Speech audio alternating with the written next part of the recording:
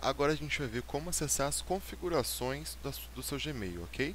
Você está aqui na página inicial do seu Gmail, você vai vir aqui no canto superior direito, você tem configurações, depois configurações novamente, aqui você altera quaisquer configurações dessas aqui que estão aqui em cima, ok?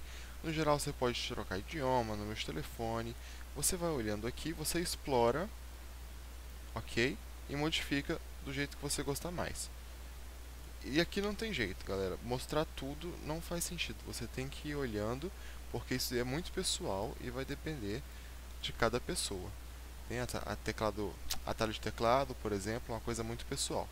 Mas isso, essa é a forma de acessar as configurações do seu Gmail e ajustar do jeito que você quer. Quando você modificar tudo que você quiser, você vem aqui em salvar alterações, clica aqui, vai ter salvo. Vou modificar qualquer coisa aqui, só para você ver. Ó. Mostrar 100 conversas por páginas. Aí você vem aqui, salvar alterações e acabou. É só isso, gente. Obrigado.